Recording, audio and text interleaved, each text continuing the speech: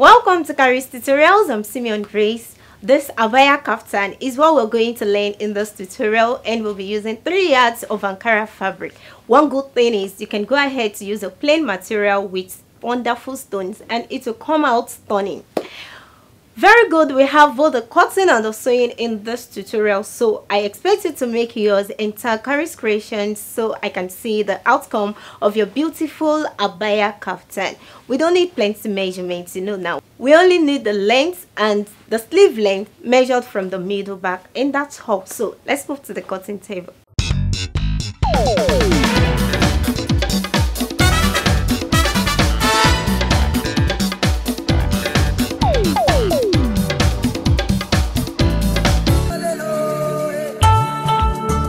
I'll be using Ankara fabric in this tutorial. You can go ahead to use a plain or patterned material. Chiffon Lycra will be fine. And my Ankara width is 45 inches. Ankara is always by 45. So this is the 45 inches. I'm fine with this. Or better still, you can take your measurement from the middle back to wherever you want um, the width to stop on your hand. You can use that as the width measurement now the length of my kaftan is 49 inches. I had added extra one inch so i have 50 inches which i'm going to use to fold the base. Like i said the width here is what i'm okay with. So the length of 50 now i doubled that so this is folded into two.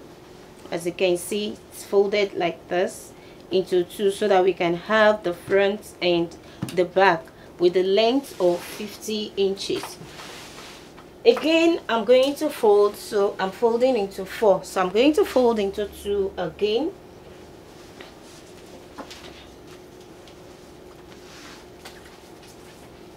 I folded into two so it means this is the middle right from here and this is where the sleeve is going to stop.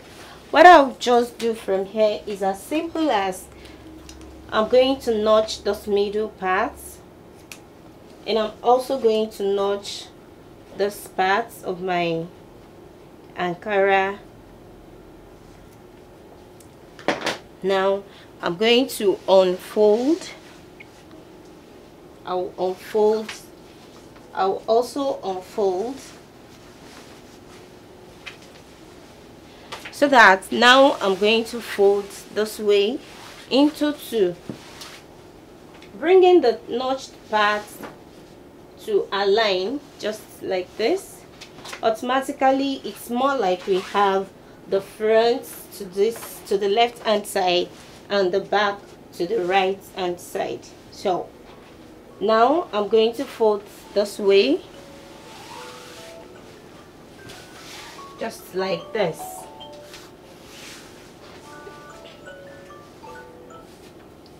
now what we have here is this is more like this is the front folded into two and this is the back folded into two. But here I have no joining. It has no cuts on the shoulder part of my dress as you can see. This is the notched part which is the middle and the notched part which is going to fall to the sleeve of my dress. Now from here we're going to bring out the neck design. I'm trying to use this part of the ankara so you could see the chalk.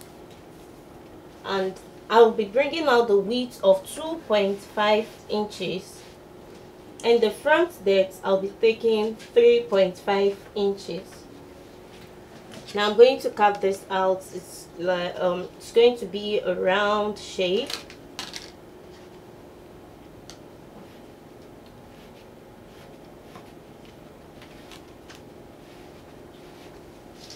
now what i'll be cutting out is just the front alone. I'll just notch and i'll carve out the front alone.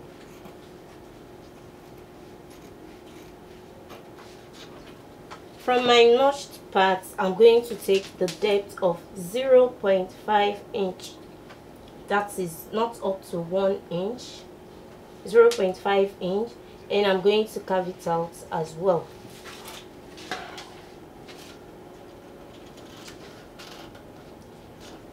now from here i'm going to slit the front. Can take it from the base. Now i'm going to slit the front.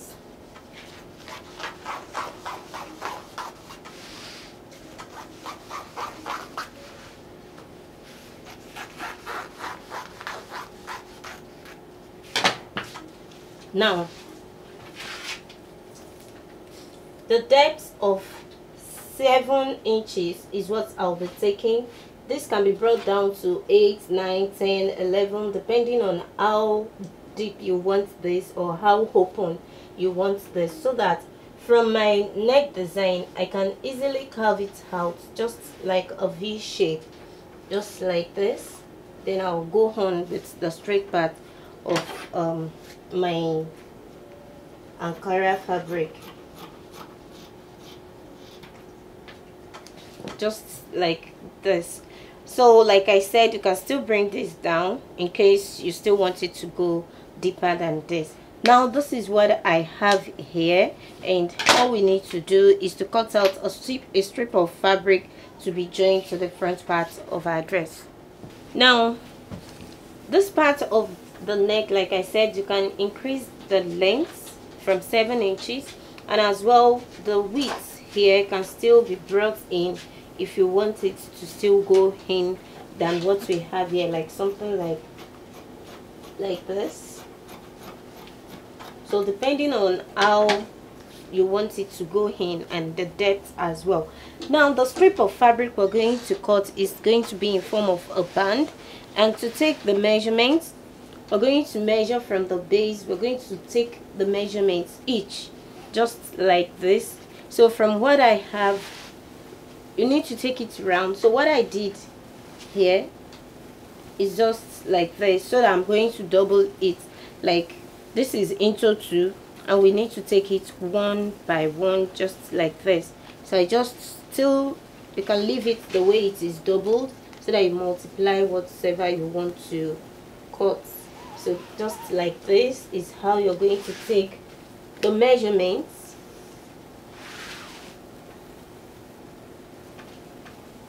so you have to follow the shape of the neck. You just go around and what I have here is 54 inches. So my 54 inches now means I'm going to take my 54 inches just like this.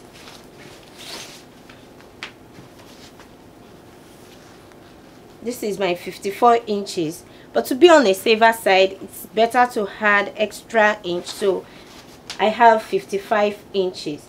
Now i said we are going to double this because i doubled the measurements when i was taking my measurements so I, i'm going to double it now. So that the excess fabric i'm going to cut it out. We are going to cut out the excess fabric. Now the width of my fabric here is just two inches. Two inches while folded so that when you unfold we have four inches as you can see. So i'm going to um, move to the machine. We're going to continue this so i can show you how to join. And if this is your first time on our channel kindly click the subscribe button click the bell as well to get notified each time we upload a new video. So this is how i'm going to be joining my um, band the band to the dress. And i'm also going to show you the side. So let's move to the machine. Now we have the front which is the middle middle front the middle back and this is the side. I want to um, curve the side a bit which is this part and this is just um my just my decision. You can leave it straight and you can curve it out as well. No standard measurement for this. You can just go ahead and do whatever you like either straight or curve now the first thing i'll be doing is to join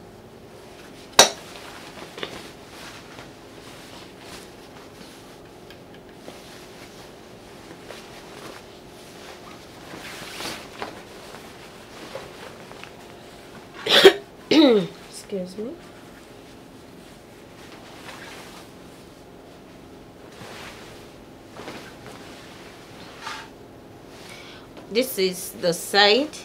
This is the side and I'm going to start my joining from 9 inches. Now the 9 inches serves as the weight as my round sleeve measurement serves as my round sleeve measurement but more than my round sleeve measurement divided by 2 so you can still increase this. 9 9.5 or 10 inches is fine for um, whoever you want to sew for. So this is my seam allowance here is just like 0.5 inch. So that's what I'll take from this point to the base. Sorry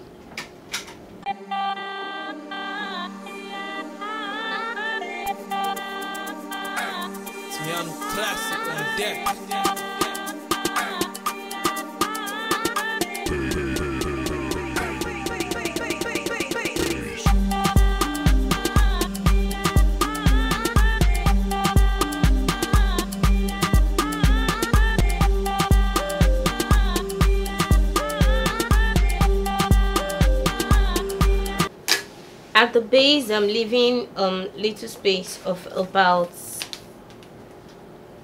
about eight inches from the curved edge like eight inches. You can still go ahead to close it to the very end. You can just do whatever you like. This is going to have a bit of slit by the sides and i can decide to close it all up.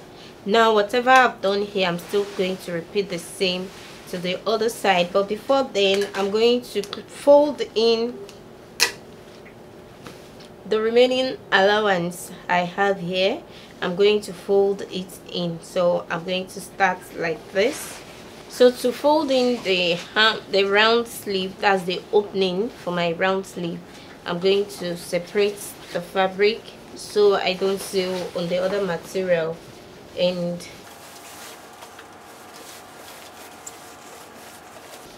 I'm going to fold it in just like this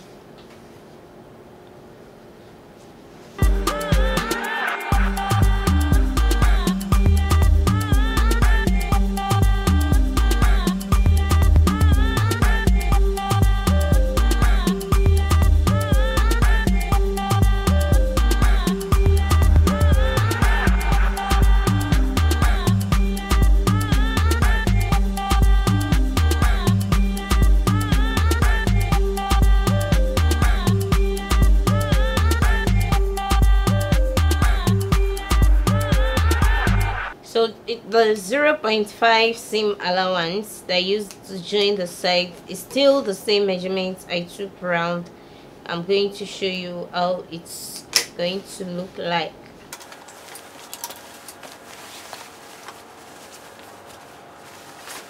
Now this is the seam allowance of 0.5 that joining from the side and I still maintain that. I just folded like this round and I made sure I do not have any fabric underneath so I don't sew on it.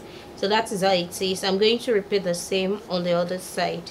So after joining this is what it looks like. Whatever you have done on the right side just repeat the same on the other side of the dress. Now we move to attaching the band. To do that we need to first notch the middle we're going to start the joining from the middle.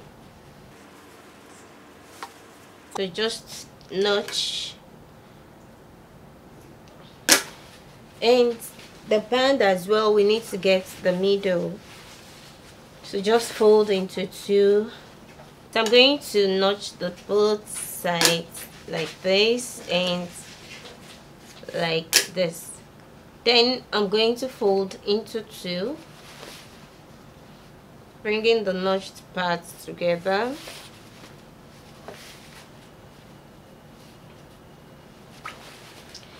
I'll make sure that the notch parts on the band and that of the dress aligns just like this.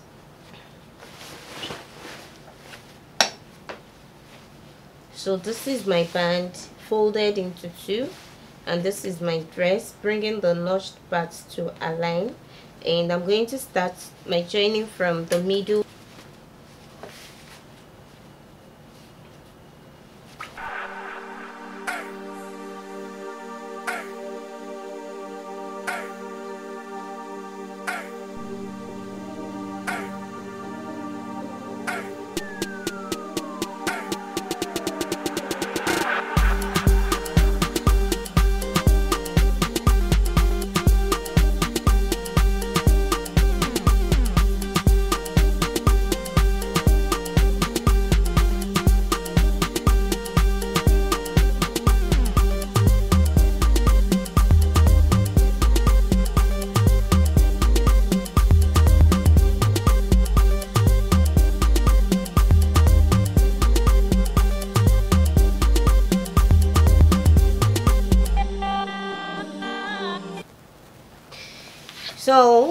base is what we are going to fold and it's going to be the last thing. I'm still going to weave this part iron as well to make it come out very nice. And don't forget to like click the share button so others to learn from this. And if you're watching this channel for the first time kindly subscribe and click the bell to get notified anytime i upload a new video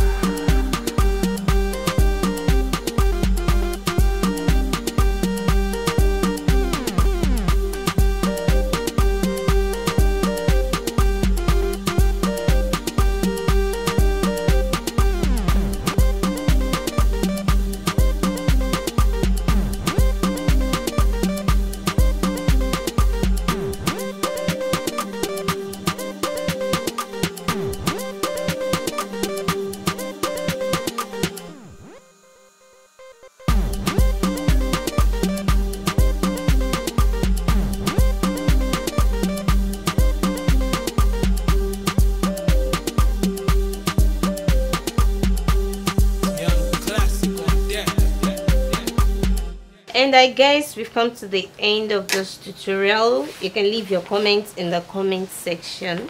Till i see you next class. Bye